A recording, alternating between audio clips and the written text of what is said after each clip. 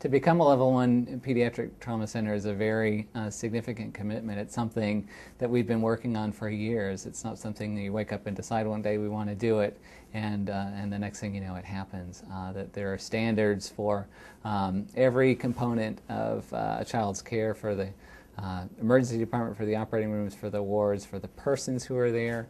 There's definitely an inward focus about what happens in your hospital to take care of an injured child, and there's definitely an outward focus as well.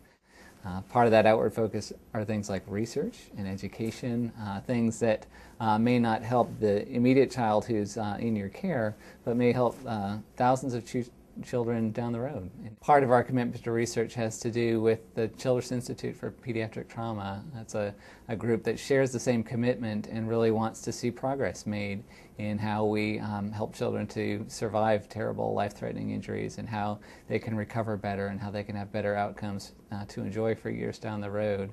Uh, and so that's a, a, growing part of what we do. They've been instrumental in helping us uh, share that commitment. And uh, in the eyes of our uh, reviewers from the American College of Surgeons, that was a very important component of um, the commitment that this place has made to help children to do well with that.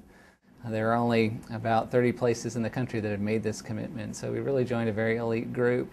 And I think there's no better place in the country, really, to uh, take a child who's injured than here because I really think we can do as good a job uh, as anywhere else.